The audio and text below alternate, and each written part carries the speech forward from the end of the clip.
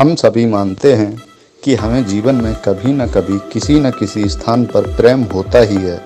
फिर वो चाहे माता पिता को संतान से हो, ज्ञानी को ज्ञान से हो, किसी कलाकार को कला से हो, आदि इत्यादि।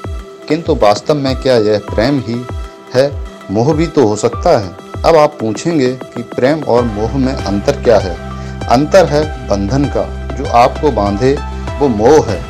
प्रेम वो जो आपको मुक्त कर विकास की ओर भेजे। चलो आपको एक उदाहरण देता हूँ। कुछ माता पिता अपनी संतान को किसी अन्य नगर में पढ़ने के लिए भेज नहीं पाते। अपनी संतान को उसके मित्रों के साथ खेलने नहीं भेज पाते। चिंतित रहते हैं कि उनकी संतान को कहीं पीड़ा ना पहुँचे, इसलिए उसे बाँध के रखते हैं। ये प्रेम नहीं है, ये मोह है। यदि ये प्रेम होता तो वह चाहते कि संतान माता पिता की छांव से बाहर निकलकर इस संसार को देखे, उसे समझे, उससे ज्ञान ले। अपने अनुभवों से सीखकर स्वयं का एक अपना व्यक्तित्व बनाए। स्मरण रखिएगा, मोह से भय पैदा होता है और प्रेम से केवल आनंद। इसलिए बांधिए मत, मुक्त कीजिए, क्योंकि यही प्रेम है।